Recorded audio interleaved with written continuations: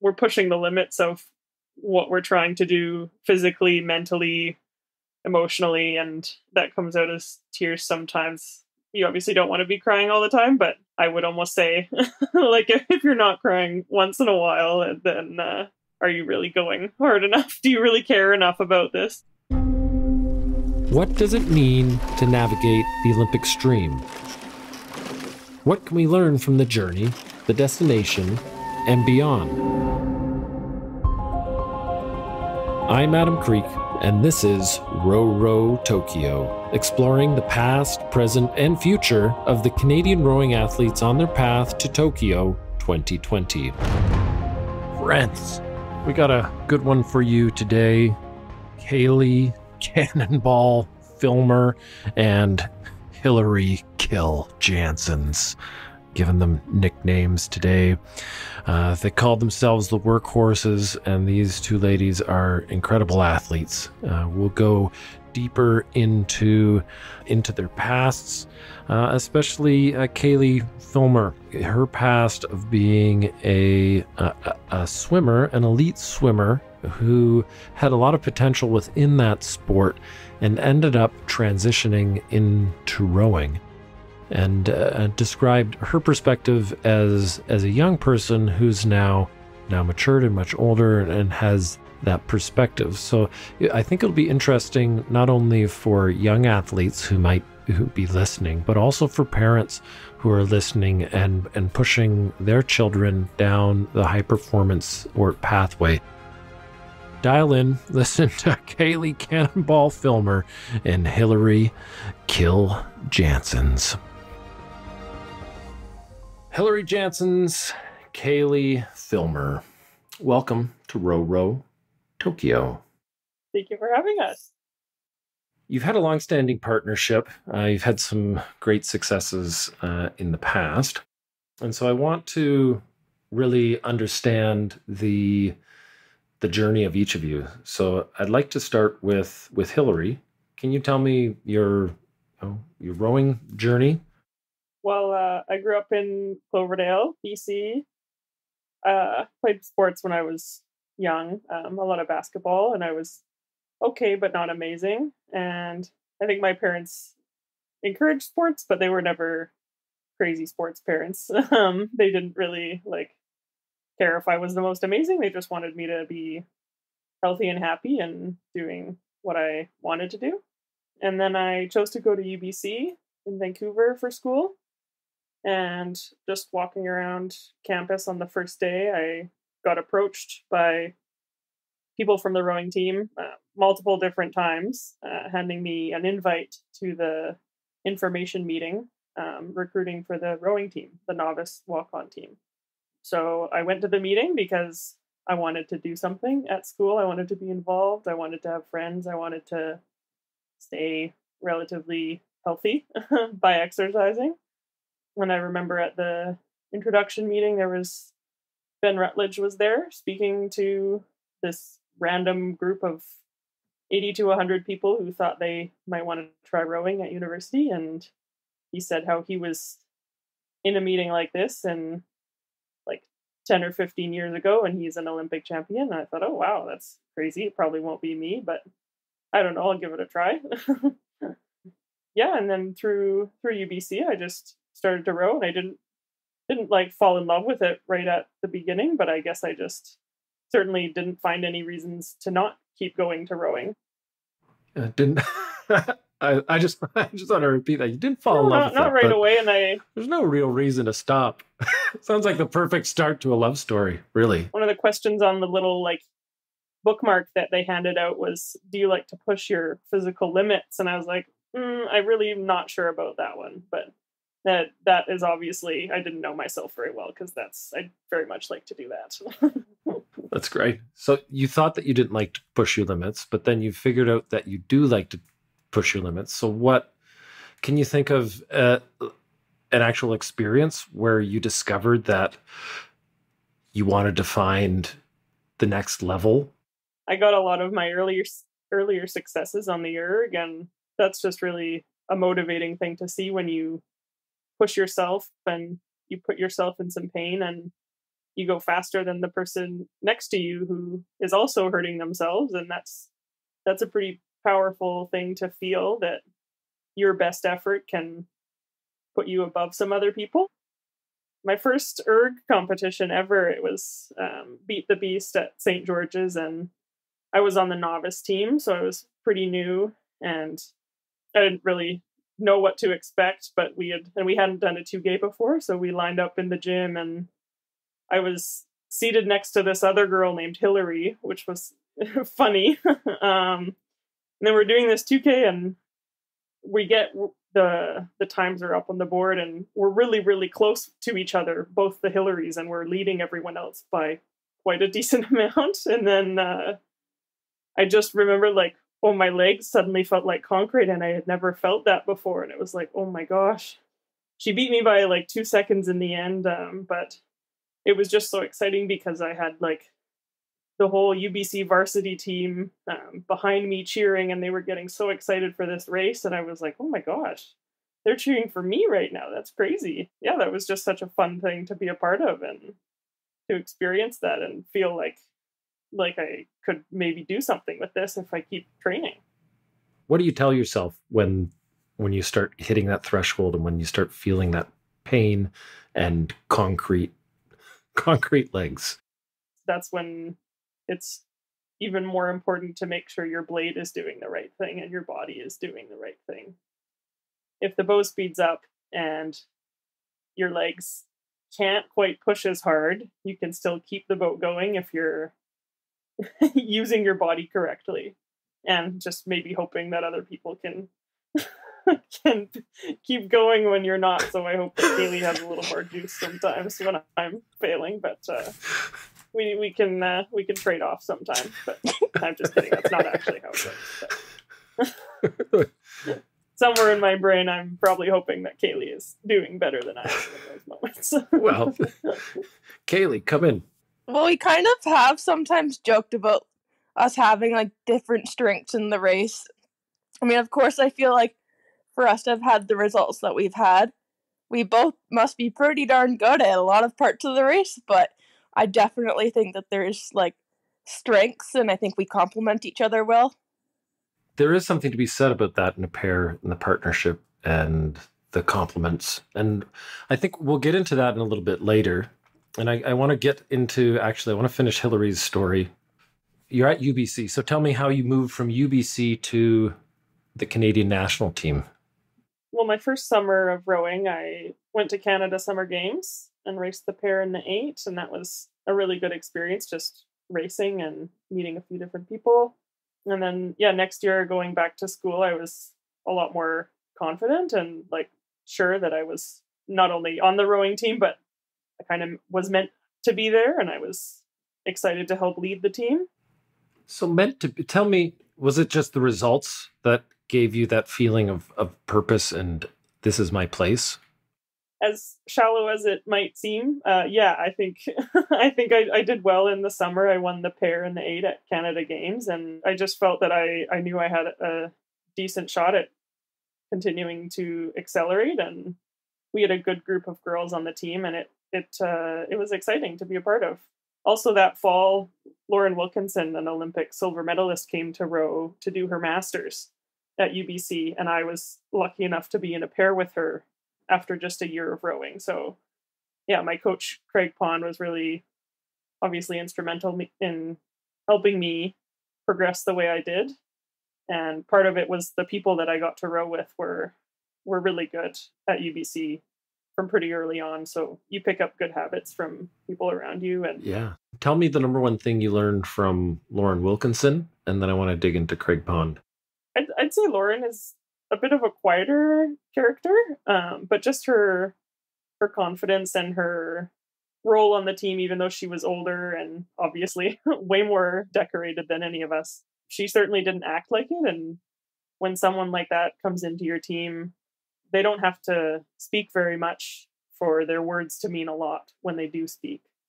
Yeah, and she was just so like patient with me and positive when we were in the boat together and she just really didn't make it seem scary.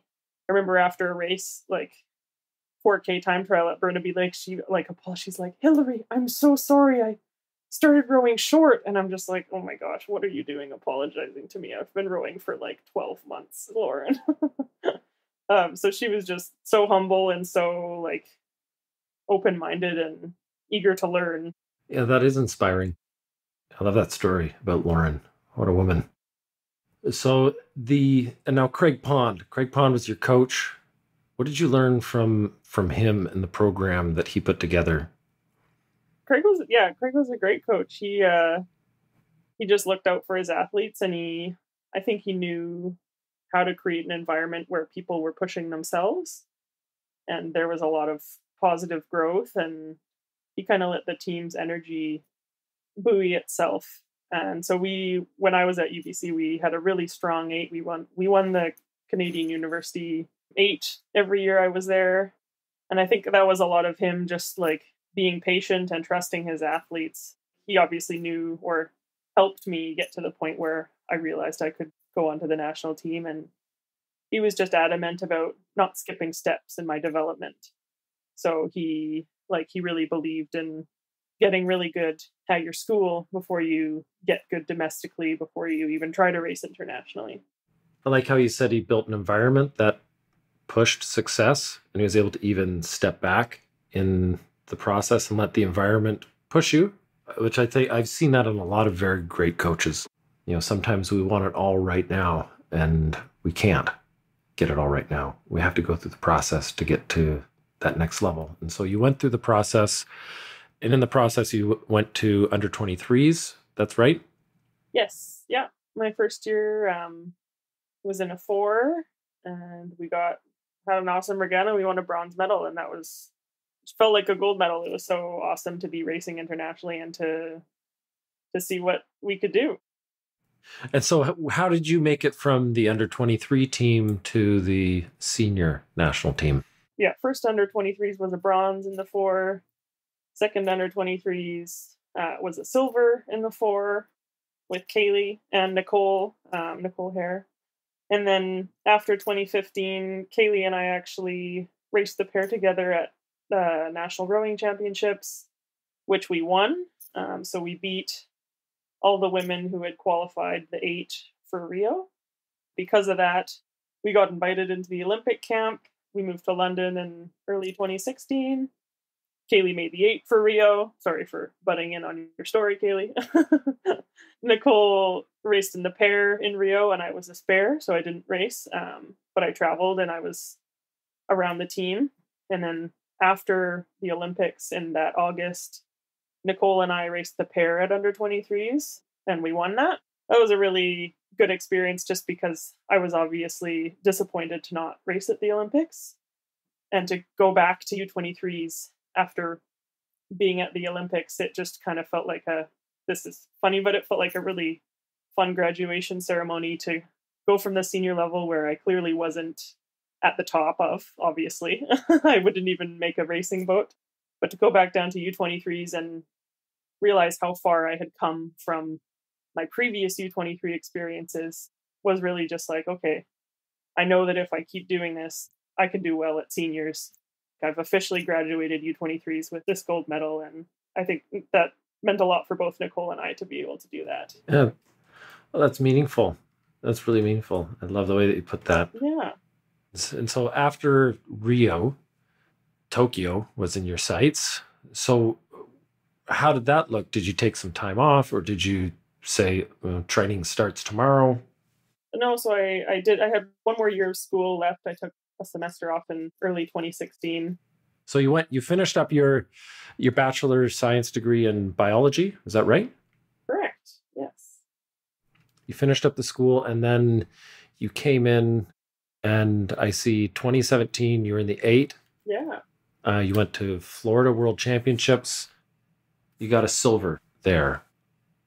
Yeah. So what happened? That was a really uh, special team to be a part of, just because we literally only had eight people training that summer together and we didn't have extra bodies and we didn't really know what to expect internationally just because after the after an olympic year you kind of get a reshuffling of things and people retire and new countries have more growth and yeah, and that that was the regatta that uh, the first time the Canadian eight beat the American eight after quite a long time at the senior level. So just being with a lot of the women who had lost so many times to the states, getting the upper hand on them uh, is just you just feel like you can do anything when there's a shuffling like that, and that was just really exciting to be a part of. So yeah, it's a good race.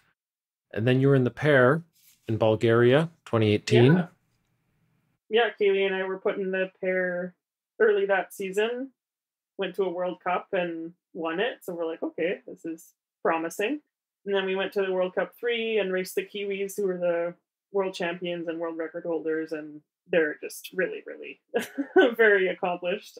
And we had a really good race against them in Lucerne and lost to them by 0.4 seconds or something. So that was like, oh wow, we're we're pretty close to like the best pair in the world, and we were together. Our two boats were 10 seconds ahead the rest of the field. So then we went into world champs and we worked on some things and we knew that like we obviously could find 0.4 seconds somewhere because you always tell yourself that right you're not you're not ever operating at you can never say i did that perfectly um and then yeah we went to bulgaria had a good training camp in greece beforehand and i think we are just excited to see what we could do because we were once again the underdogs um, i don't think many people would have guessed us to beat the kiwis that regatta but yeah, we did. We faced them in the semifinals, which is a little unusual because we were probably ranked one and two.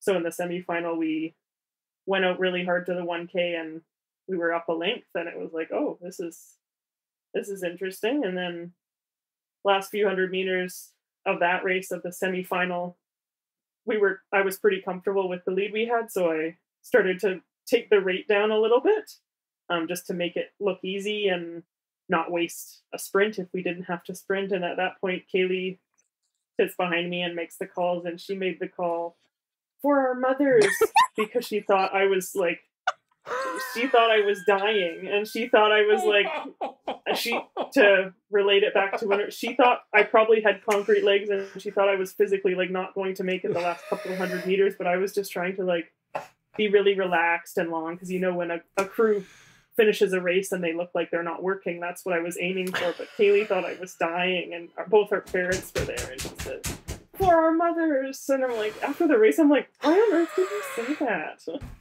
I had thought she was dying because Anyways. she she had like started to shift or like shift down and looked really smooth.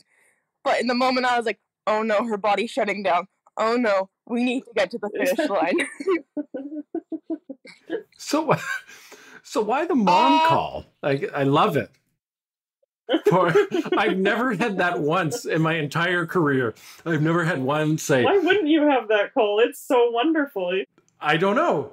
It is. It is. It's magical. Like of course, uh, both of our moms had made the trip out, and I know for both of us, um, that was like pretty meaningful to have our moms there, and we're both quite close with our moms, and so that was just particularly like really just like special to share that with them tell me about your mom, Hillary, and then then we're gonna go back to Caileigh, back to the beginning of Caileigh. But first, I want to hear about Hillary's mom, and then I want to hear about Caileigh's mom, and then we're gonna go back to Caileigh. Sure.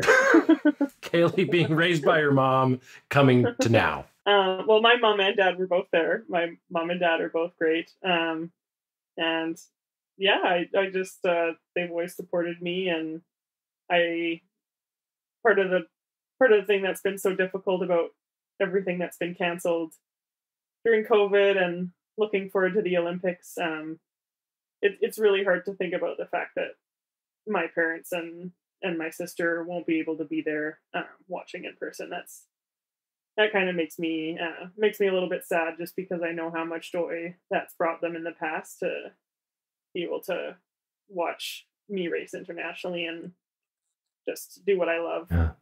Well, that will be disappointing. The I, I'll I'm gonna throw in a mom story because my mom wasn't able to make it to my Olympics, and right after the Olympics, the one of the first things I did was I I found a mm-hmm. cell phone, and I was like, I gotta call my mom. And I'm like, Mom, Mom, I just won the Olympics. And then she's like, Yes, dear, I know. I was watching. That's perfect. That's probably what my It's mom like, would say. Thanks, well. mom. well, and it's uh it's great. It's you know, it's humbling. It's it's it's amazing how even you know, at the height of athletic accomplishment, you're still you know, you're still the daughter or the son of you know, a mother who birthed you and nursed you and raised you and loved you and there's something powerful. There's something truly powerful about that. So tell me about your mom and then tell me about how your mom contributed to your path and let's start from the beginning and bring you all bring us all up to Plovdiv and Bulgaria and that world championship. Yeah, so uh my mom actually that year going into Plovdiv, I think it was 2 to 3 months leading into it, I found out that my mom had been diagnosed with um ovarian cancer.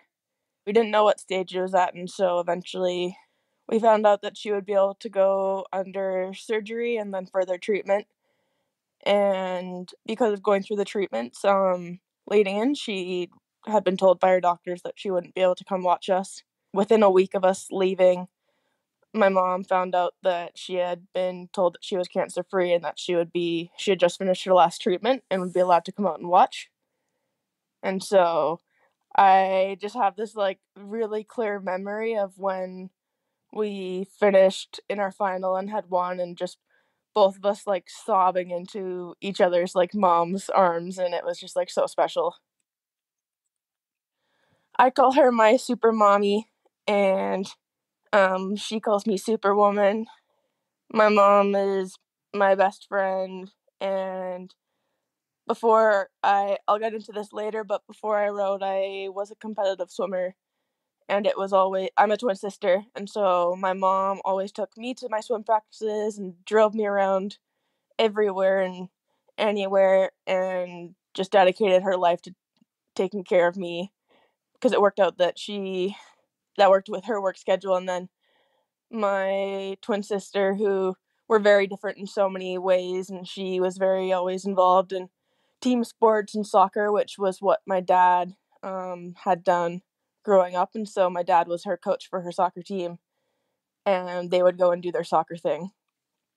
My mom had been um, my mom rode for the university of victoria and then she was on the national team and had gotten a stress fracture during the selection for um, the olympics that she was leading into and so she didn't go to the olympics but had had that rowing past and growing up she actually kind of discouraged me or always like kind of pushed me away from the rowing scene i think. Um, she really enjoyed seeing me in other sports and then uh, when i eventually tried rowing i guess i think she kind of knew it was coming eventually. What's her name? helena uh, filmer and her maiden name is matson And tell take me the path. Take me the path from competitive swimmer to Plovdiv.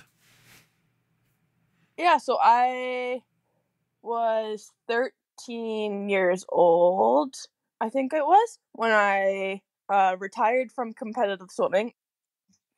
I had been a competitive swimmer for seven years, and so I guess I had just started early and had been on the summer before I was on the junior national team At the age of 13. at for the 12 and under national team. Okay. What uh, distances did you swim? And what disciplines? my my main events were the 400 800 and 1500 meter freestyle and then they were wanting to gear me towards becoming an open water specialist and so i had made the national team based on my distance FINA points i guess is how the swimming world had done it back then and had made the junior team that went to the north american challenge cup in california and um, the next year when I'd come back in training, I just I'd gone through my first big injury. I had a knee injury um, that took me out for a little bit, and I came back and was going quite fast, and I just didn't love it, and I cried every morning going to practice and my mom drove me to practice every morning and just like supportive about me doing something exactly kind of what Hillary's mom was to her with sports and just wanted me to do something that I loved because I was so young that I could do anything at that point. Like it didn't make sense to keep doing something that wasn't making me happy, even though I was really good at it. And so I know that my mom had to go through when I decided to retire quite a difficult period of time because I think some some parents they don't they wouldn't realize it, but in the moment because I guess in the swim world the moms sit and watch practice, they or at all the meets, they know a lot of them know every other swimmer's times and it's pretty intense world and so they had they they just see this little swimming athlete who had been doing really well and suddenly she doesn't want to swim anymore and they thought that my mom was making a mistake letting me retire from swimming and thought that, that I had been throwing away everything that I was working for. But you were happy. You were happy with the support. Oh, yeah. Like I had I loved my coach. I loved my teammates. I just didn't love swimming anymore. And so I had retired and that um I think in about June and then that summer. Well, I want you to talk about your mom too in that situation because I think there's there's going to be parents who are listening to this. Mm-hmm. You know, people who are older who are raising children, and even myself. Right, I'm. Yeah, it's kind of funny. I'm, I've got my legs in both worlds because you know, having been an athlete myself, but now I have a 10 year old, a seven year old, seven year old girl, and a 10 year old boy, and a four year old boy. And you want to support your children and sport is important up to a point but you can also see sport sport can become something that's very toxic mm-hmm. in you know in the life of a child and uh, and and can move from being of benefit to their their emotional development, psychological development, physical development, cognitive development, and um, move to the other place where it, it becomes detrimental. Yeah, and starts to take away. So I just wanted to talk about your mom and, and explain her decision more and how she was able to support you and some of and often it's the social pressure, right? Exactly. It's the social pressure that's the most difficult part of making these decisions. I still remember the first training camp that I ever went on. Um, it was a going away spring break training camp. I think I was 10 years old and it was two weeks going away to California. 10 years old, away from your parents and I was the youngest girl on the team getting to go in this camp. And some of the moms of the other girls my age, I think, reflected poorly on my mom for making the decision to let me go, which is crazy. Uh, but my mom just like supported me, and if it was something that would allow me to help achieve my goals that I had, then she would support me. And if she thought that like if it's different than what other parents thought she didn't really care what anybody thought she just wanted me to be happy and for me to feel supported so i i knew that i was pretty done with swimming i think that year around aprilish and then my mom because we had our first big meet um coming up i think it was june beginning of june and it was the regional championships and my mom uh so i had told her like mom i think i'm done. I don't want to swim anymore and she said okay i want you to keep training for four more weeks and i want you to race and then tell me after you race how you feel. Um because she's like of course like you've been doing this for a really long time so i don't want you to just give on it like i don't want you to just make a decision right now based on training i want you to go out there and race because I think she was worried that I'd just come back off of an injury. So now, with your age and perspective, do you think that was good advice? I I completely agree. I think that it. I think at that age you are so young, and so I think it's good to just really make sure that you're making the right decisions, and because it was a lot riding on it for me because I had set up my entire life with swimming, and I had dreams of going to an American university, getting a scholarship. I I wanted to go to the Olympics, but I wasn't set on it. But I was more so at that age focused on not staying in Victoria for university. And I think every single time I went and visited my grandparents on both sides, I'd be like, "Yep, I'm only here for so many more years. Then I'm gonna go away to California." um, and you you grew up in Victoria, British Columbia. I just want to get, make sure that that's on the record. Yeah, Victoria, BC. And then graduate of Mount Mount Douglas Secondary School. Yeah. Okay. And so my mom, um, yeah, she got me to still race at the regionals and I wasn't sure how it was going to go because I had had a knee injury earlier in the spring. And then I ended up setting almost all best times at that meet, even though I didn't want to swim anymore. And I was just like, you know what? Just go and race your hardest. It is what it is. And do something that's going to make you proud and that you're going to look back on fondly. And I think the last day I ever raced in the pool was June 11th. Still remember that day. I was pretty pleased with how I was doing, and so I think that especially the fact that I had just hit all best times, other parents were just scratching their heads and going, "What are you doing, Helena? How are you letting your daughter um, stop stop swimming?" Did so? Did you sense that as a kid, or was this a conversation you had with your mom afterwards? My dad actually told me these things. yeah. So I'm also quite close to my dad, and my dad and I would go on these little car rides, and my dad would be like, "Oh, the other swim moms are being hard on your mom.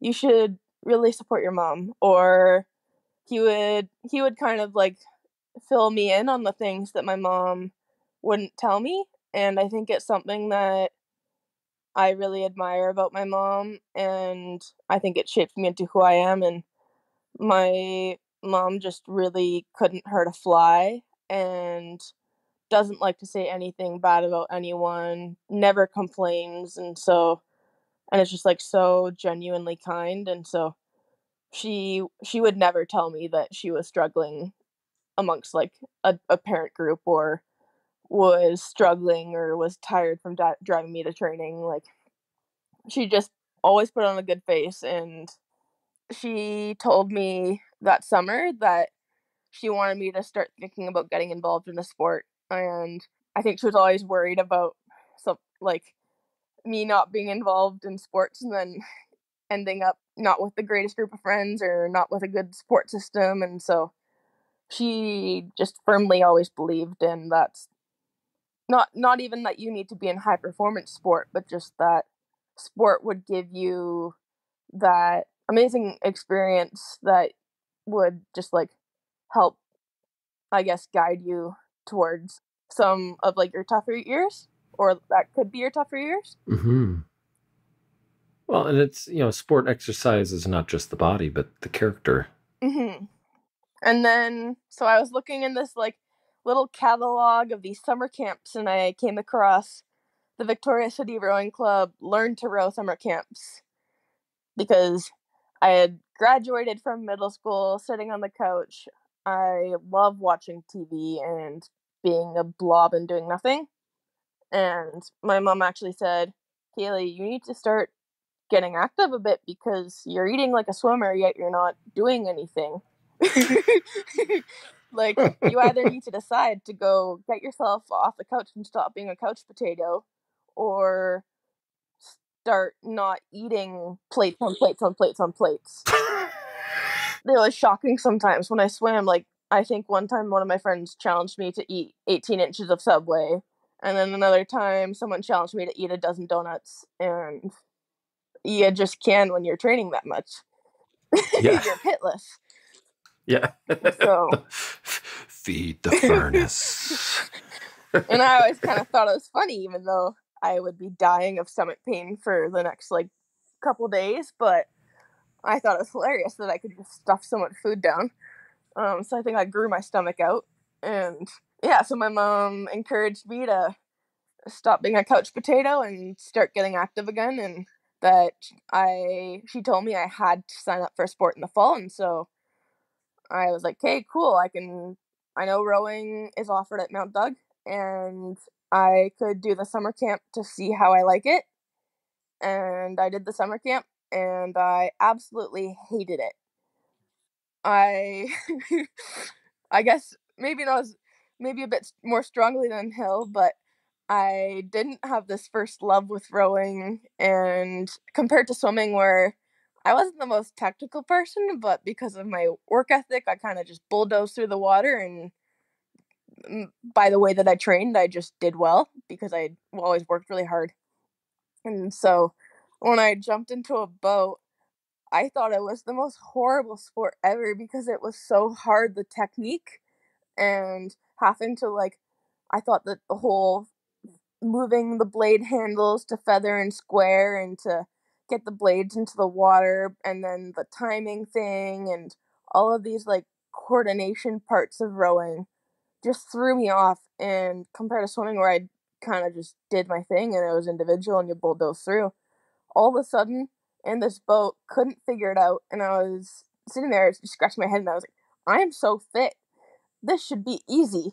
But suddenly there's this technical aspect that you can't get past or else you flip and so then I did the summer camps and kind of did it. Was like, okay, that was a workout. Cool. Got to the fall and then mom was like, okay, well, you better sign up for a sport. And then I was like, well, rowing's the one that I like. I didn't love it, but I was like, well, I don't dislike it compared to a lot of other sports. yeah, there's you and Hill together. Well, I didn't love this, but uh, I, I, kept getting better at it, so I figured I should. Because I I, I enjoy sports that I guess the yeah. harder you work, the faster you go. Um, like I'm not like naturally the fastest runner, but I can just run forever and I can hold the same speed, and so then as distances kind of get longer, it it I start doing relatively better and better. And so I guess kind of like same scheme of that. I I guess sports where it's more individual and more just like power and fitness um I've done well in. And then every other sport that was offered at Mount Doug was all the team sports like basketball, soccer, um, those type things, which you don't want to see Caileigh play a ball sport. it is. well, maybe maybe She's, I just. It is. It's, it's shocking how how, how natural she can be in one athletic sense and how unnatural in another one. But. A huge thank you to our title sponsor, Nicola Wealth, the gold standard of investment advice for affluent families, foundations, and institutions across North America. Nicola Wealth is also the premier partner of the Can Fund 150 Women, where women support female athletes and each other to achieve excellence. Nicola Wealth also has their own podcast, The Wealth Exchange. This show is full of great interviews and inspires you to achieve your aspirations beyond wealth. Providing access to experts, topics explore leadership impact, wealth planning and investing, philanthropy, and building better businesses. Listen to the Wealth Exchange with a quick search for Nicola Wealth on your favorite podcast listening app. So let's let's go through Mount Doug. Give me the highlights of Mount Doug. Got into rowing Mount Doug Fall, and I started like getting past the technical part. And I guess what really did help me start to accelerate my rowing career was the fact that I had my baseline fitness from swimming. And so I knew how to push myself. And I guess that that, similar to Hillary, I started doing really well as a novice on the erg. Suddenly was put into these senior novice instead of junior novice races, and then got to race in the senior varsity eight my my grade nine year um, as a novice, and I don't I don't wish to see video of that race ever, but I guess I pulled hard, but might have stuck out like a sore thumb. And then through my so then after the fall, because in Victoria you row for your high school in the fall, and then you join a club for winter, spring, summer.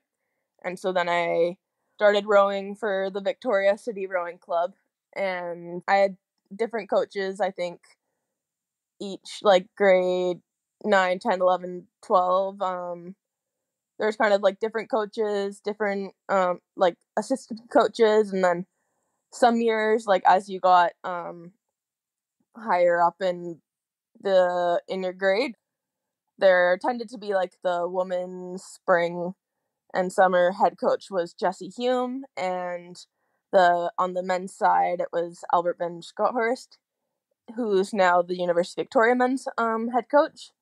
I'd say like the coaches who were most instrumental in my like big grade 11 12 years So what did so what did Jesse give you, and then what did Albert give you?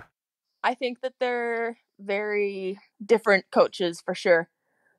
So Albert was the coach of the fall high performance development program, which was a program of just six girls and six guys. And you applied to the program and it was the top athletes of the club. And I did that my grade 10, 11, and 12 year. And so we just did small boat training and you did that instead of your high school program because in BC you can only train four times a week. But in order to make us like a junior national team the club believed that you needed to train a little bit more than that and be over the hours that would make you eligible to race the school program. And so albert was my coach during the falls and then during the springs i moved into jesse's program and so I, and jesse was the grade 11 12 women's head coach and Jesse very much was more so of a quiet quieter coach, a lot more hands off.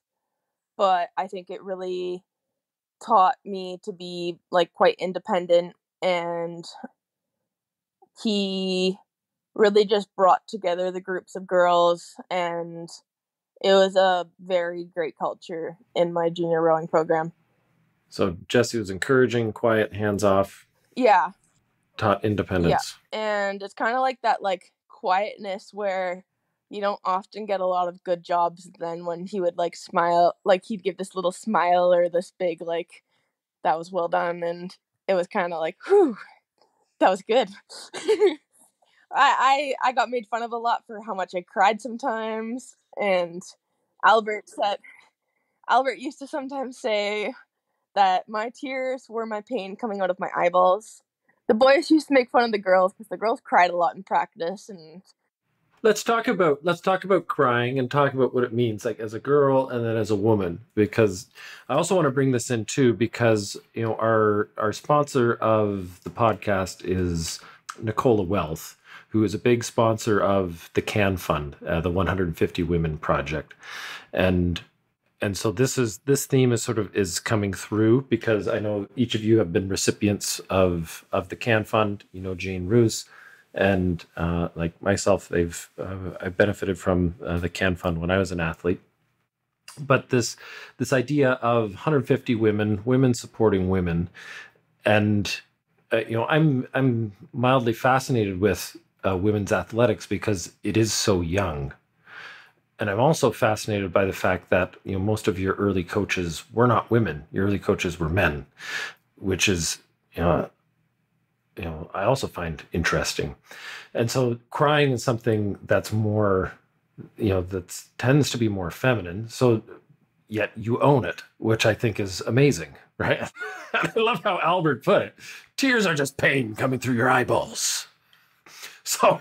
So so so tell me about, you know, as a girl and you're now a woman, how have you made peace with your tears? And how have you made peace with your with with that emotional part of your being? Oh, I yeah, I wouldn't be able to count the amount of times I've cried in practice, but and I I really appreciate too that I think I mean Hill can speak to this, but I think both of us are just very open in how we're feeling to each other. And I think that if like I'm crying and I start talking to Hill, I'm gonna start bawling. And I think like vice versa, like we can't hide our emotions around each other, which I think is honestly the best and it allows us to like be able to support each other properly and be vulnerable. And you know what? Sometimes practice freaking sucks and crying through it might make you feel better. I'm also a crier, and uh, I guess I'm just thankful that I'm I'm uh, with someone who also cries and it's okay to cry once in a while. We don't cry all the time, but just being with someone and you see someone crying and you're just like, oh, they're having a hard day. And sometimes you can go up to them and sometimes you're just like, maybe they just want to be alone. And it's, we're, what we're trying to do is, it's so intense emotionally. And I think, yeah, we're always at our breaking, or not always at our breaking point, but we're, we're pushing the limits of what we're trying to do physically, mentally, emotionally. And that comes out as tears sometimes you obviously don't want to be crying all the time, but I would almost say, like, if, if, you're not crying once in a while, then uh, are you really going hard enough? Do you really care enough about this? I don't know. Let's tell me, each of you, I want you each tell me about the last time you cried. Yeah, I just, I've had some, a pretty long year in terms of injury. And because of that, I spend a lot of time on the spin bike. And yeah, there were some workouts doing alone and just really trying to push myself physically and just being isolated and not knowing if I'd be able to get back in the boat and be strong and be my best at the Olympics. Like there were some dark moments when it is really hard to to not let it get the best of you sometimes. Thankfully that's that's behind me for the most part, so I'm glad that part is over. it's over. Well, and let's go back to that, right? Because I think this is this is interesting, and this is sort of this is the legacy piece I'm interested in. You know, of the podcast, you're isolated, you're alone, you're on the spin bike, you know, you're pushing yourself to physical pain. There's uncertainty. Am I going to heal? Is my body going to, you know, respond? you know i've and i'll speak from personal experience you go from a point from where you're pushing your body and your role and your job is to push your body and all of a sudden your body is not cooperating and it's your body that's pushing back on you you know you're there you're on the spin bike you're wondering if you're going to uh, your you know your injury is going to heal the tears come out then what? I'll say something something that got me through a lot of those long hours on the bike, not crying a lot of them, I promise. Um, I listened to just a lot of podcasts and there was I found a podcast mostly with uh where they interviewed rowers and suddenly I listened to a few of them with um they were interviewing the best rowers like historically they I remember they had Drew Ginn and Kim Brennan and just so many and then suddenly in these podcasts I started realizing a recurring theme is that a lot of them had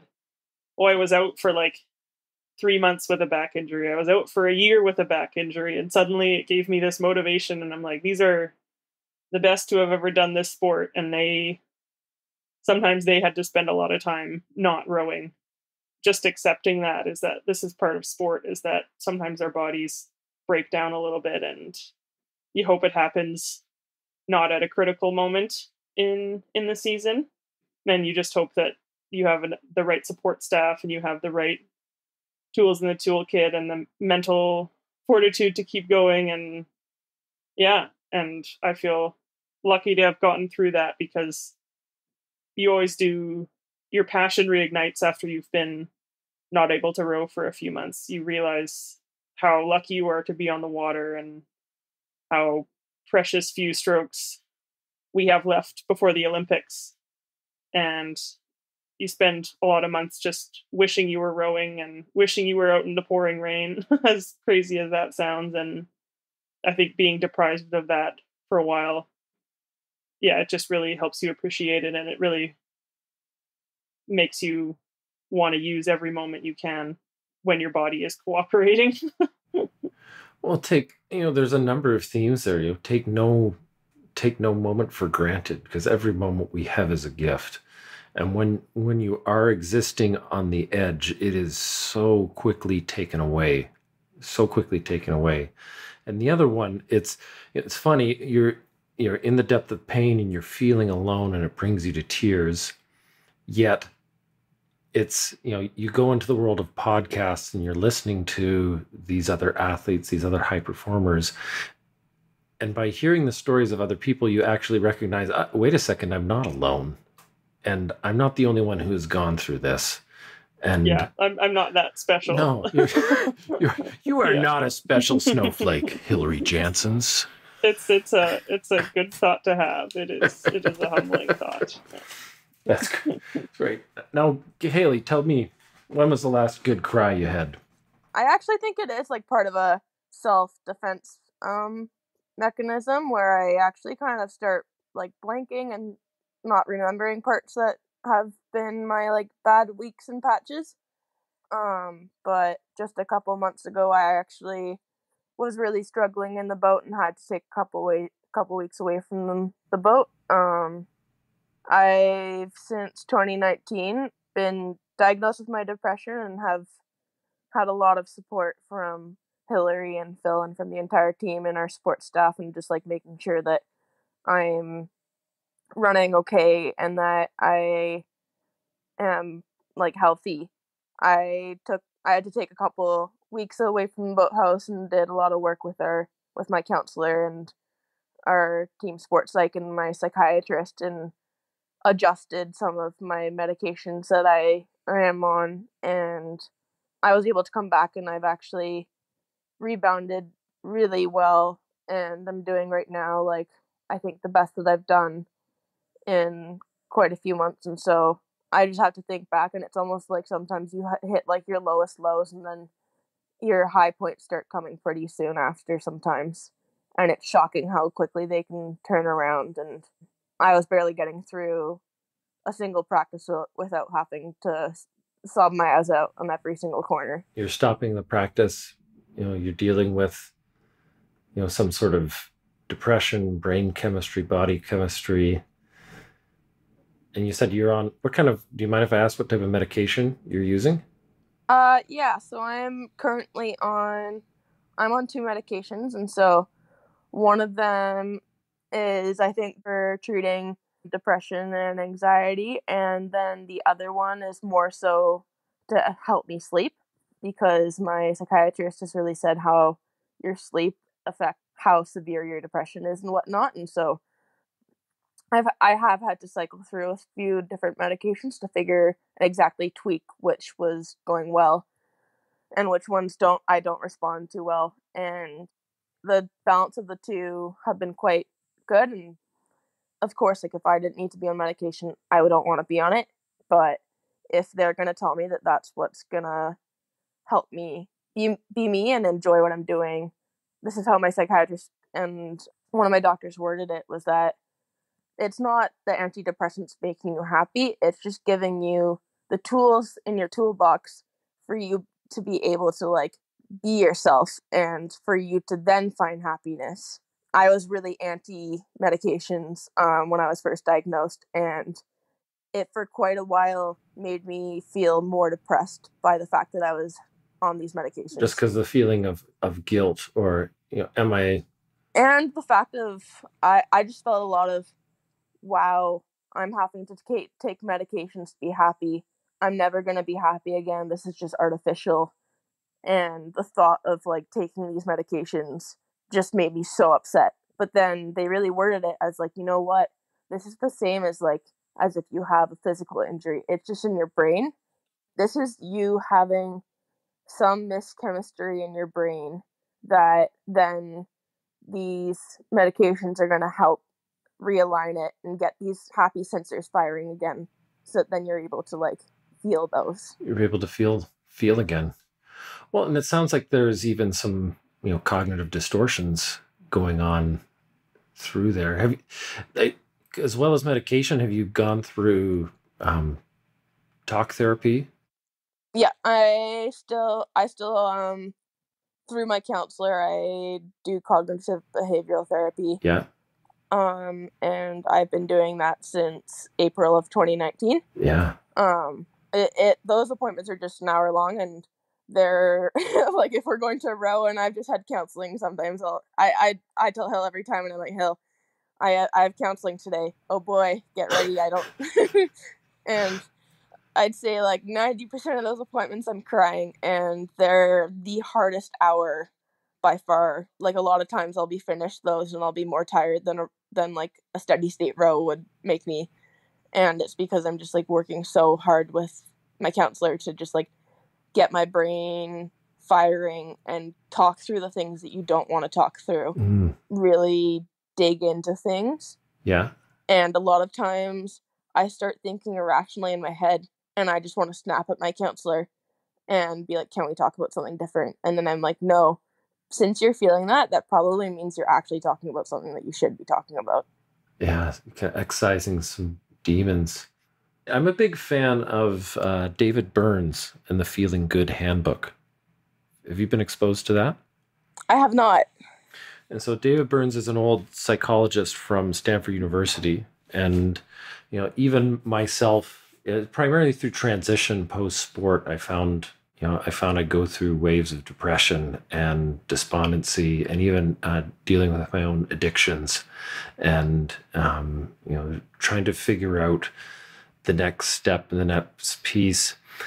And it's, you know, cognitive behavioral therapy, how I understand it, is its roots are in Stoic philosophy, and there's a lot of Stoic, you know, people pumping up Stoicism in popular culture right now.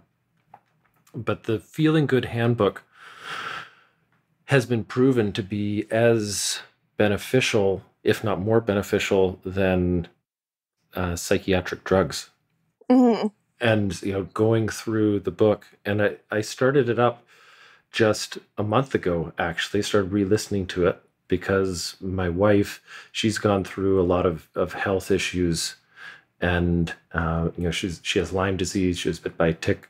Kind of won't go completely down that rabbit hole, but um, found that she needed to align her thoughts, behaviors, feelings, and actions, and was having really difficult. It took her about 20 years to figure out what she needed to change in her health and then once she finally figured it out, it took her another three or five years to actually, now that I know what to do, how do I actually do it?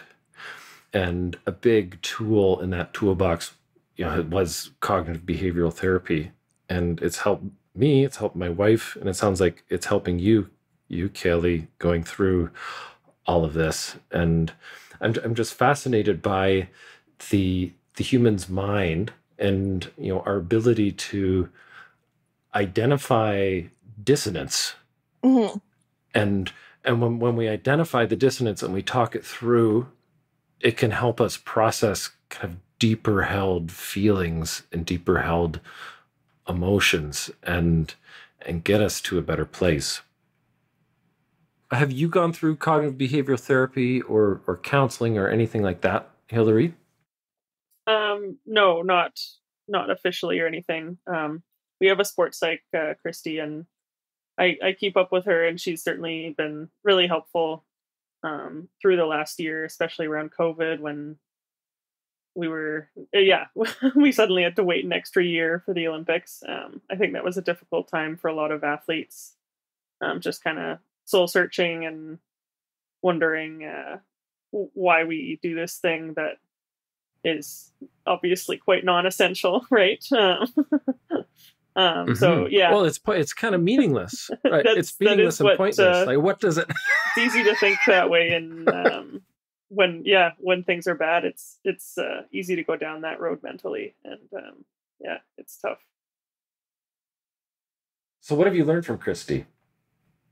Hillary. Um, I think a lot of it is um, being aware of how how I handle things when I'm stressed and when things are not how I'd like them to be. Um, I think she's just kind of pointed me in some directions, whether it's books or um, just certain theories that can have kind of opened my eyes to how how I can control how I'm feeling, and just little strategies to help me when it's difficult and when I can kind of um, make a situation better for myself based on how I respond to things versus kind of just reacting and not um, not thinking about how my reactions can sometimes make a situation worse.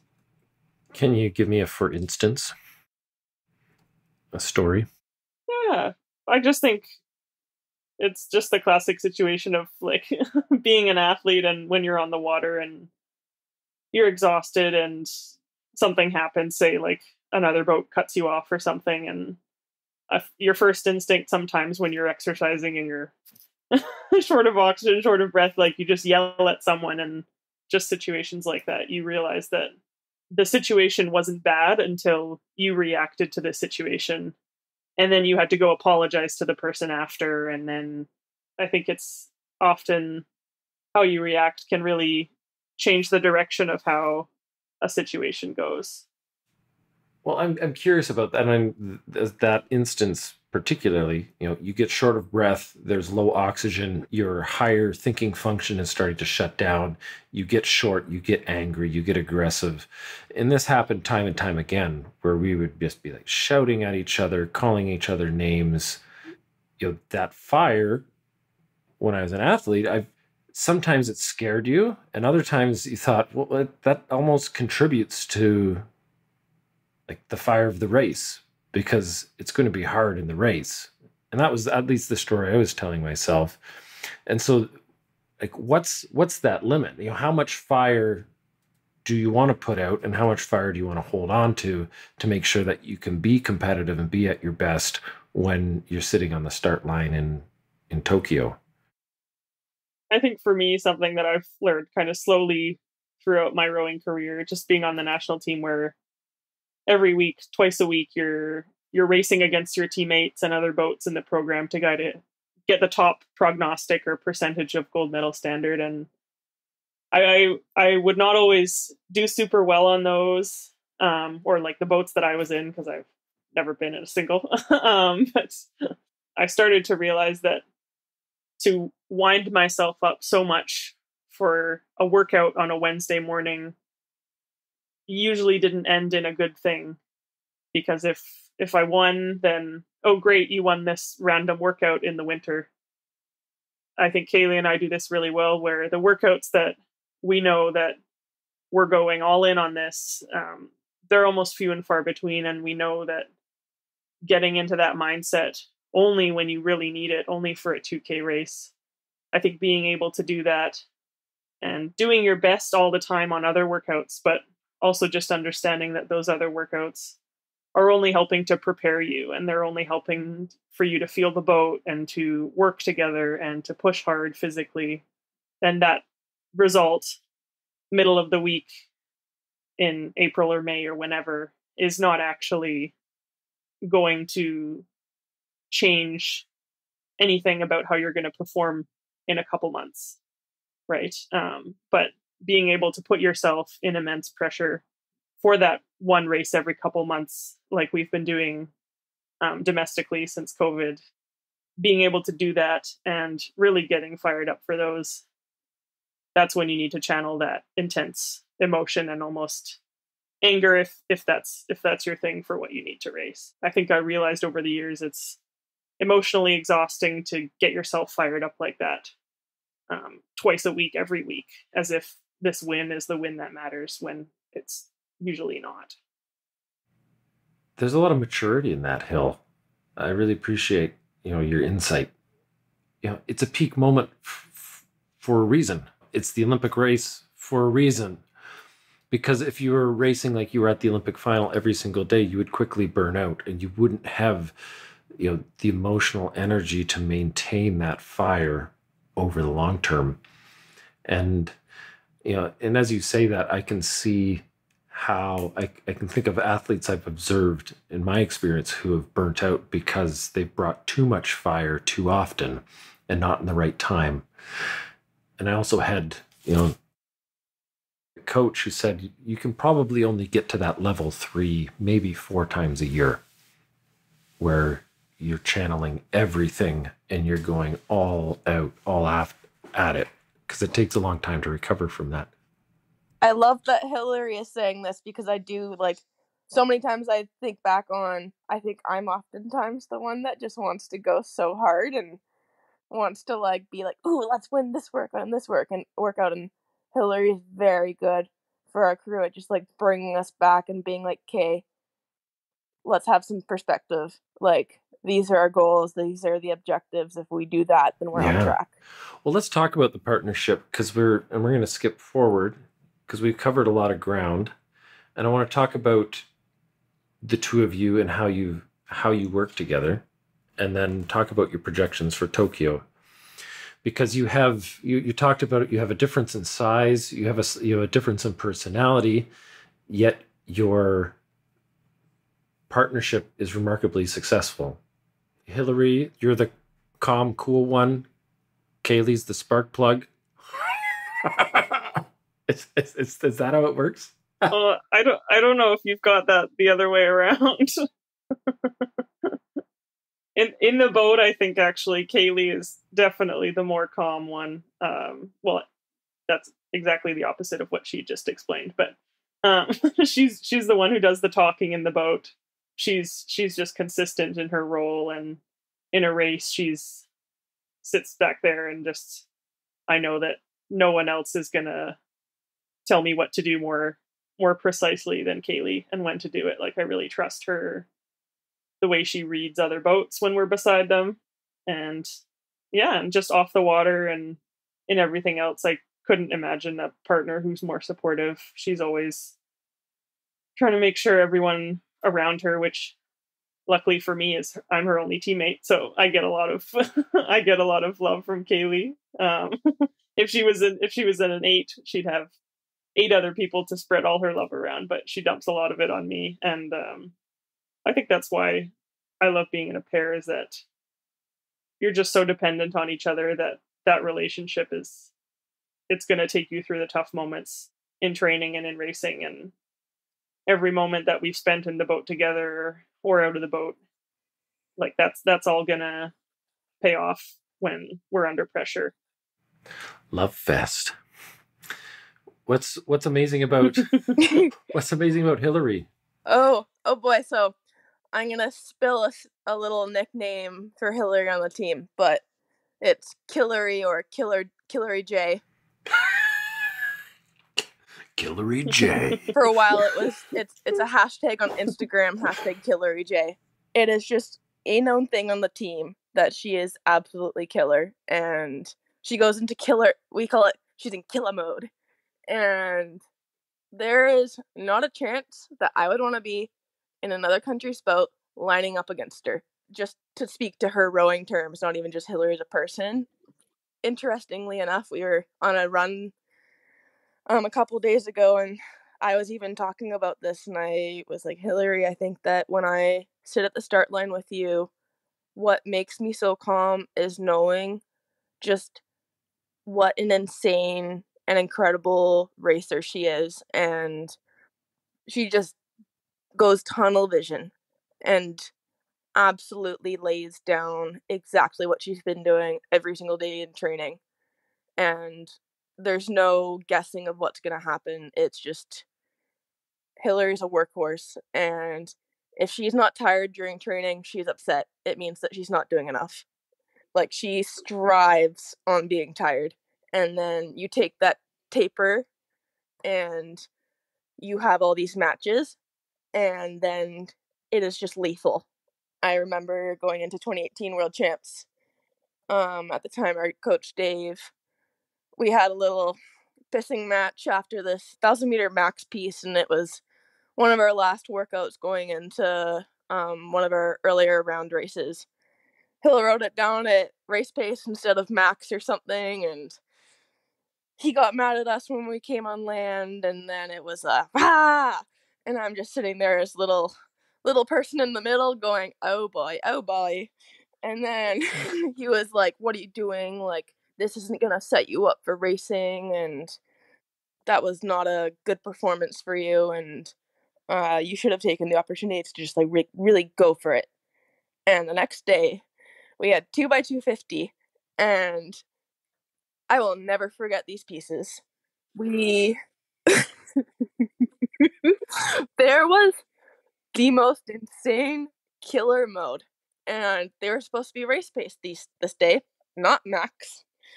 The first piece, I think we took off, and we didn't go down in a pair below like 42. I think we are between 42 and 44 the entire time, and I think we had splits pretty much. I don't think we went above like a 132, 130, and pretty much held the max speed that I've ever hit in a pair over 250 meters. And the entire time, I thought I had been held hostage and who was like, I have the strongest partner in the entire world. This is nuts. I remember that thousand meter piece, and I remember it. We were it was supposed to be race pace, and it was actually under race pace, and I was like not pleased with it when I was doing it. And I think when we got off the water and Dave pointed it out, and I was like, well, yeah, I know that wasn't race pace. I think the other thing he said that bothered me was like, oh, I don't think that would prepare you for the race. So he kind of said, you didn't do that well. And I agreed, I didn't, we didn't do that well. But the part of it that I think flipped a switch in me was like, oh, that means you might not be prepared for your world championship race. And I'm like, oh, that's a problem. Like, I need to prove him that I'm ready. The next day, I was just like, he wants to see us going fast before the race. I'll do it. I'll show him. Killery J. Hashtag Yeah. engage. yeah. Yeah. Oh, So I think just any um, questioning of my effort is I I take that personally, and I and Caileigh said all that wonderful thing about me being such a good racer, but I think we need to remember we're in a pair, and I think a pair of all the boat classes is if you don't time your blades, I only have one blade and she only has one blade, and if they're not timed together, and if our bodies aren't timed together, if our legs aren't pushing together, the boat's going to go slow. So she's saying all that amazing stuff about me, but the reality is is that she's doing that at all the same time and she's actually having to follow someone, which is even harder. I'm just doing whatever the heck I want up there. And Caileigh is somehow following all these uh, all these crazy things I'm doing and making the boat go straight and she's looking around and so But this is what we say, you know, in the corporate world, what we say, you need to put the right people in the right seats of the boat. And so you what I'm hearing right now is that the right people are in the right seats of the boat because Hillary, you know, say disc, right? You've got dominance, you know, inspiration, uh, conscientious, and steady.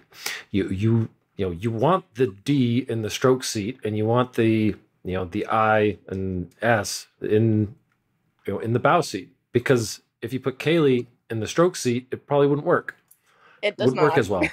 no, because the and you, know, you wouldn't follow Caileigh as well. You would support her as well.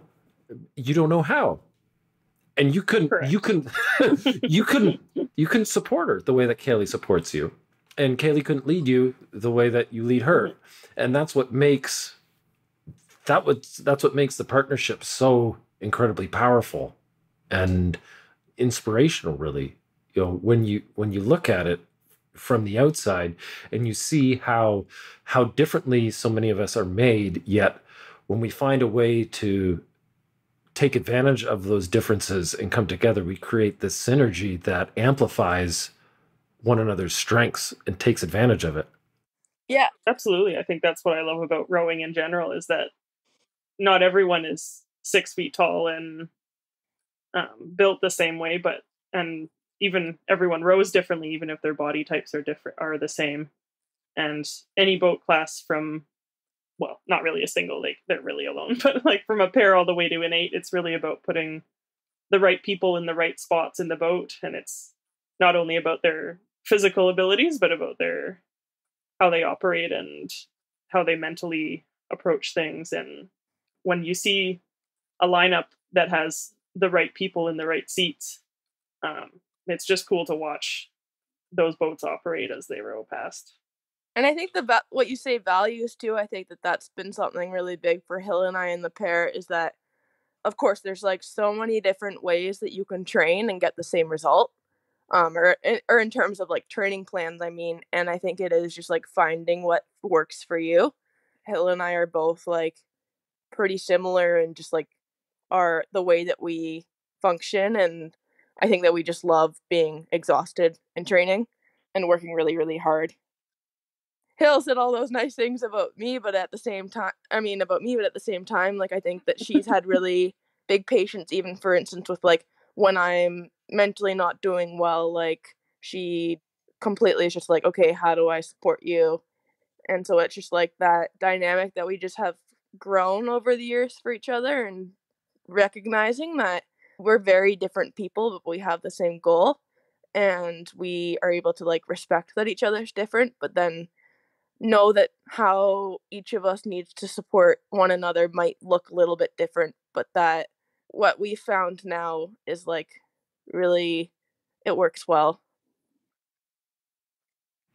Well, what a what a lesson for teamwork.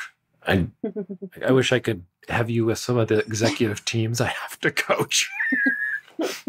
Just be aware, and I'm, you know, and this is something that you know I hope you take with you to your life beyond sport, uh, because you know by recognizing one, you know who you are as individuals is so powerful, and it puts you leaps and bounds beyond other people in their own psychological personal development and two recognizing the differences in one another and how you have to you know flex and adapt to support each other is such a powerful toolkit in you know not just in sport but in in life in general and and doing any any big thing whether it's a business goal whether it's trying to make uh, a relationship or a marriage work or whether it's you know trying to achieve something you know political so it's I, I find it truly inspirational the way that you're approaching this. Let's look forward to Tokyo. We got hashtag Hill and Phil in the pair, hashtag Killary J. Talk through, you know, a visualization of of Tokyo, and part of this is I'm I'm doing research. I'm the the commentator for CBC. You know, so I want I want to learn from you interesting facts about your opponents so I can give better commentary. But then I'm also interested about your race and what you're envisioning with that. So, first off, let's start at a high level. Tell me about the field. If if you're aware of the field, who you're looking out for, or if you're primarily internally focused, and then we'll go into yeah what you're picturing to the happen Kiwis in Tokyo. are definitely, I would say, the ones to beat. They're double gold medalists at World Championships in 2019 in the pair and the eight, and they're planning to double up at the Olympics, which is a pretty big deal. Both Kaylee and I and the Aussies also doubled up in 2019 in the pair and the eight, just in the qualification year. Every boat is trying to qualify as many spots as possible, and in the eight, you have to come top five. So the margins are pretty pretty tight and for a big sweep country like Canada to not qualify in eight would be quite bad. So the decision was made to strengthen the eight, and we also, as a program, qualified the pair four and eight, which was huge. And we, we didn't know the year ahead that we had, well, the two years ahead that we had, but keeping those extra four, getting those extra four seats qualified has been massive for for our women's team. Um, the momentum that we have is is really big, and um, yeah, we were we were really proud of that, and just that was really special to be a part of, and to help, yeah, uh, get as many people as we can to the games. Two-time Olympic champion in the women's pair, Helen Glover, is back with a new partner from GB after having some children, so they'll also be interesting to see, and I I would love to race someone with those accolades. I think that's that would be pretty cool just to get to race her and yeah, the Americans will be strong, Romania will be strong, and I think going into the racing, we're prepared for the heat to play a factor. So we've done some heat sessions in Victoria just to see how our bodies respond, and I think that's that's kind of put us in the mindset that it, it's going to be tough when we go to Japan. It's going to be really humid So tell me about the heat sessions. Are you are you do you create a sauna and put some rowing machines in there or what? that's pretty close to it. Yeah, a little uh, heated trailer um, out the outside the Pacific Institute of Sport. Yeah, just with some spin bikes in, and we did a a full heat week in January, uh, ninety minutes a day, to just acclimatize and see what happened to her core body temperature, and that was really quite telling. Just because you kind of underestimate how tough the heat is for your body to handle when you're not in extreme heat all the time. Like in the winter in Canada, we don't sweat liters and liters every day, even though we're working out because of the colder temperature. And I think um, just knowing that our physiologists and our the whole support staff are really dialed in and making sure that they have every box ticked in terms of how to help us handle the heat and how to pre-cooling strategies, post-cooling strategies, how much you should be drinking, electrolytes, everything. There's not one little detail that they're not thinking about and there's not one resources that we don't have access to in terms of preparing ourselves mentally and physically for the heat. Mm-hmm. What did you learn? So pull like put on your biology hat, Hillary, and tell me tell me what you learned about the heat and the adaptation. Well, the main thing with why Tokyo is going to be so difficulty so difficult to manage the heat is sweating cools us off because of when the sweat evaporates. That's actually what's cooling us.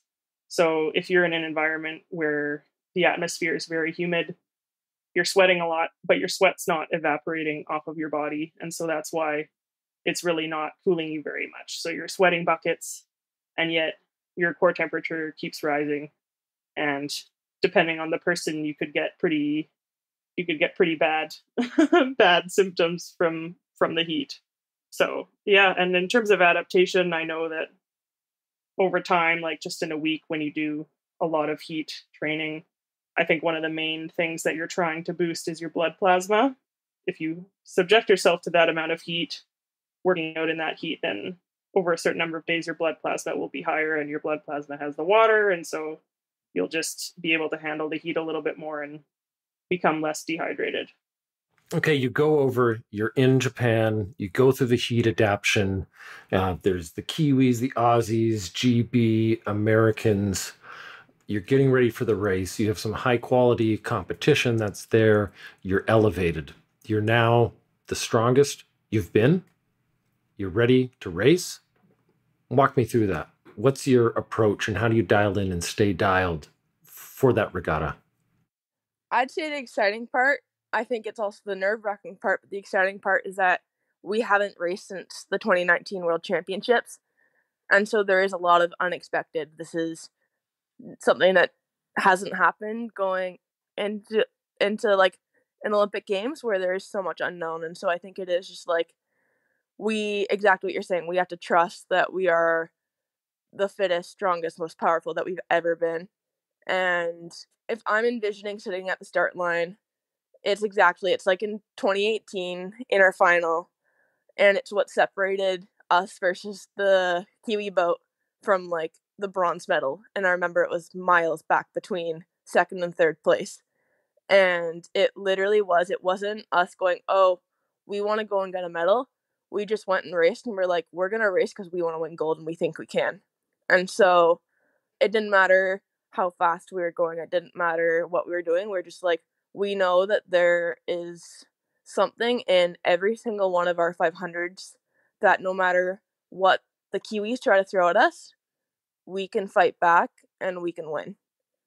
I think that rather than worrying about like, oh, the Kiwis have this, I think the Australians have this, GB, US, instead of thinking of it as like there's all these really fast crews, I want to envision just going in there knowing that we have what it takes and that we're just going to race rather than like race to medal, we're going to race to like win gold.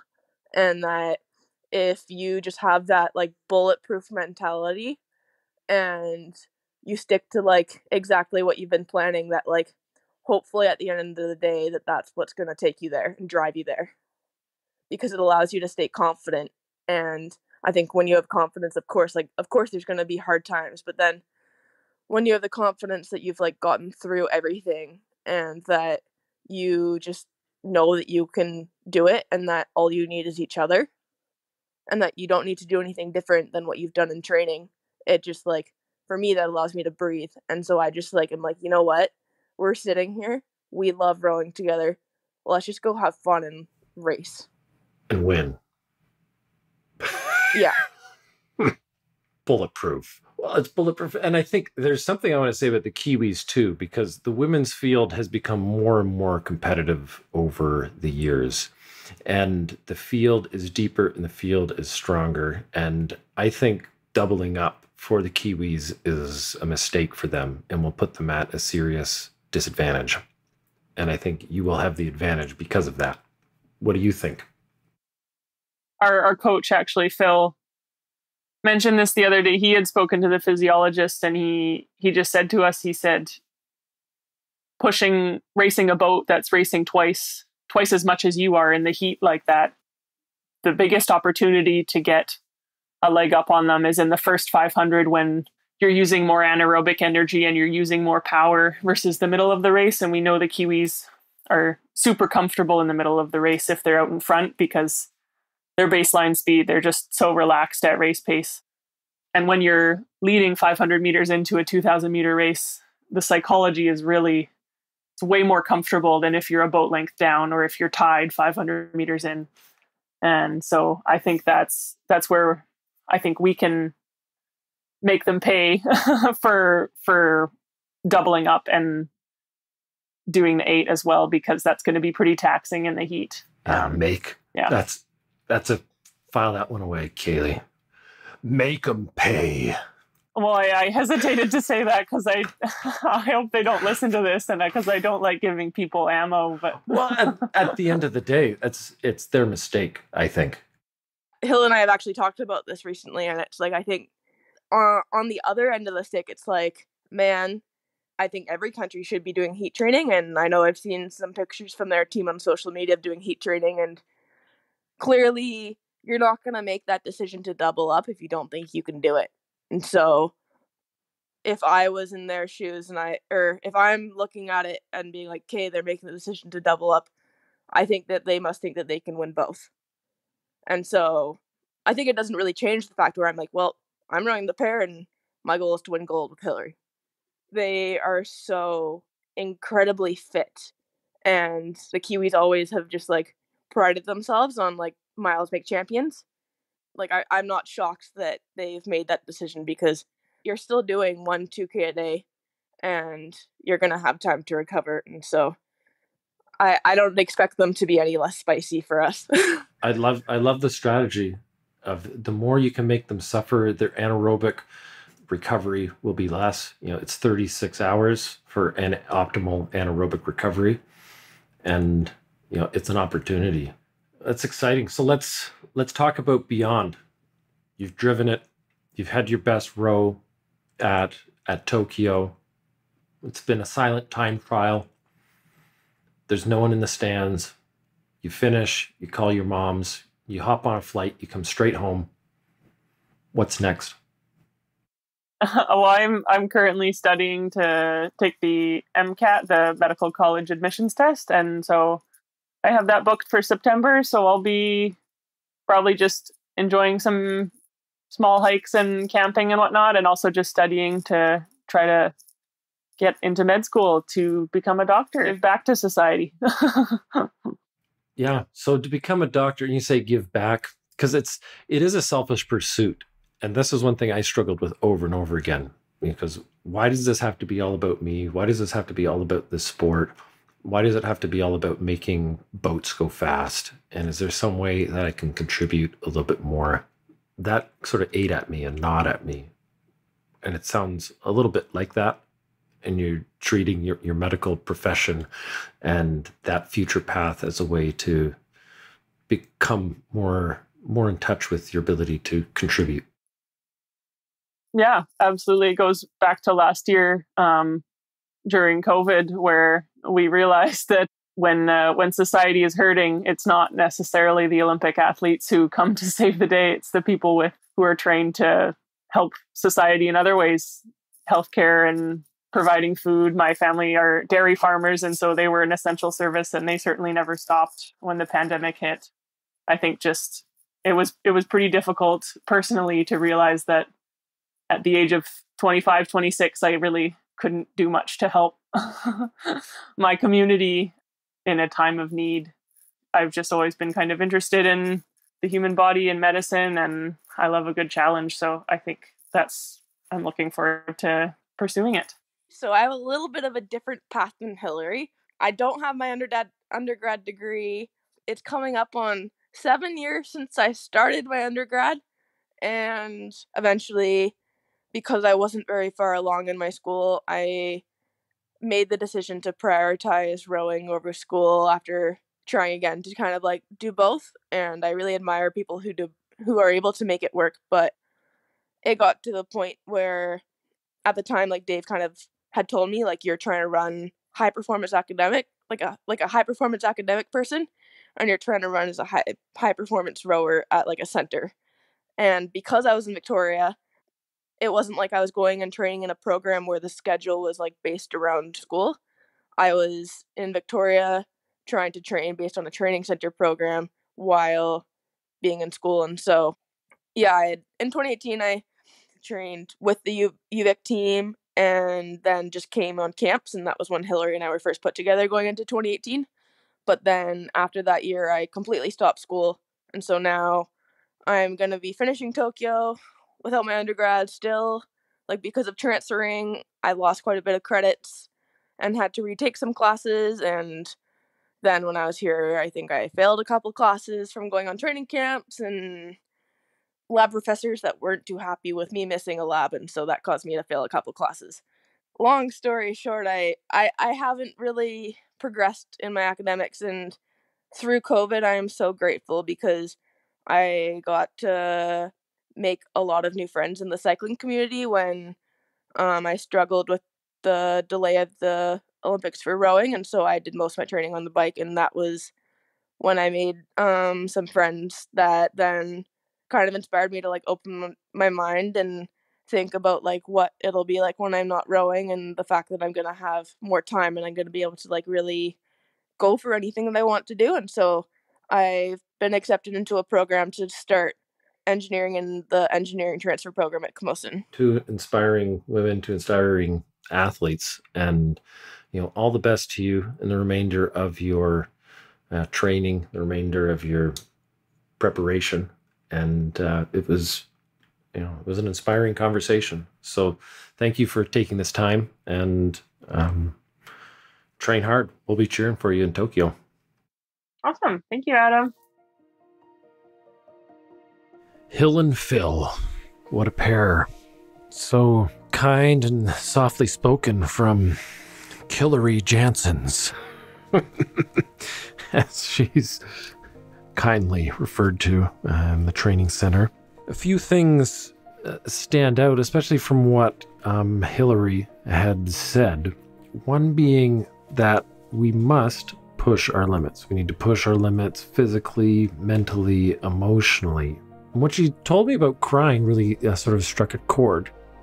If you're not pushing yourself to the point where you might feel like crying or you might be crying on a regular basis, are you really pushing hard enough? Are you? Have you pushed yourself to that limit recently? Another piece I found quite fascinating in the conversation is about how she differentiated between day to day training and periodized all in uh, competitions. It takes a lot of, again, physical, mental, emotional energy to really ramp yourself up and go all in for a big race. But you can't do that every single day. Peak performance is called peak performance for a reason. It's peak performance because it's at the, the top of something. It, it only happens every once in a while. And there's a difference between workouts and performances.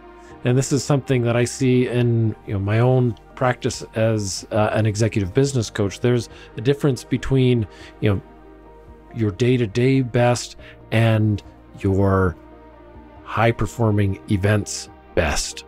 We need to make sure that we've identified the right spacing between high moments of push where 100% of our mental, physical, emotional energy needs to be there. And the other times when we need to show up, we need to be a professional, we need to put the work in and tick it over and get another one done. Great insights. Thank you, Caileigh. Thank you, Hillary. Great athletes, great insights. I thought, I hope you enjoyed this conversation as much as I did.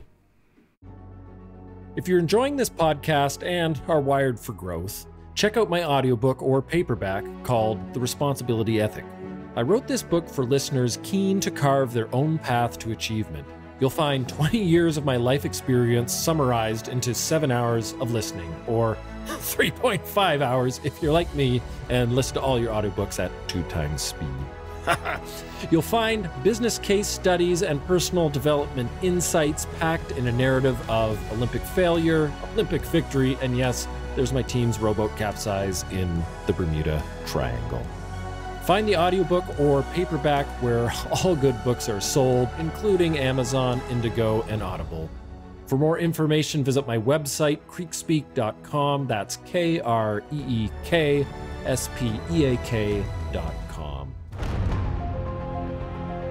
Thank you for listening to Roro Tokyo. Again, I'm your host, Adam Kreek. Feel free to reach out to me with comments on Twitter at Adam Kreek. That's at sign A D A M K R E E K.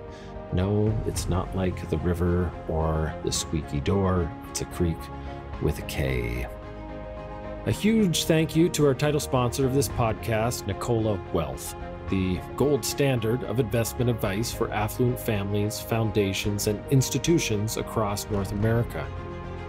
And another thank you to Whitehall Rowing and Sail and the Oar Board, which is the transportable, collapsible rower that you can take anywhere.